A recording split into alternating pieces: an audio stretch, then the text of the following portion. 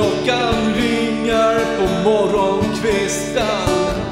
Gör min frukost och sen drar jag in till stan. Vandrar på stadens trånga gator och torg. Jag ser en massa ungdomar som rör sig. Jag hälsar och omhälsar glatt tillbaks till en cowboyman som är jag.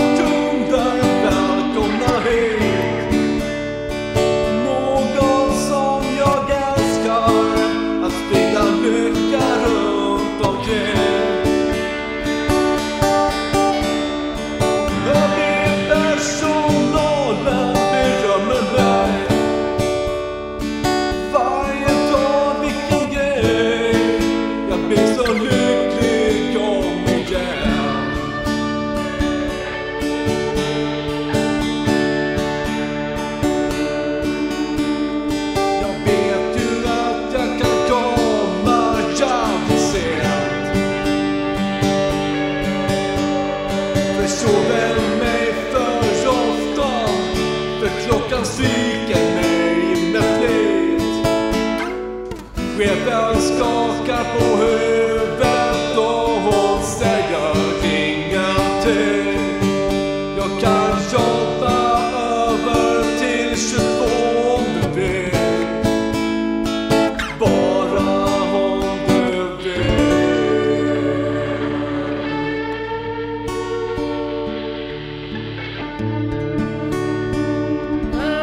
Du, vad kostar en glödlampa på ÖB där? Ja, det vet jag för fan inte jag. Du får kolla själv för fan. Ja, just det.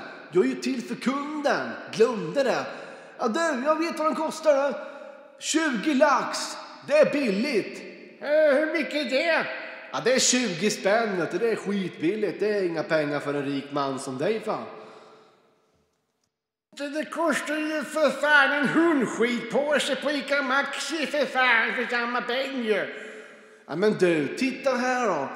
På ÖB får du ju tre påsar för samma peng. Det är ju ännu billigare. Det är ju ett riktigt kap om du köper därifrån mannen.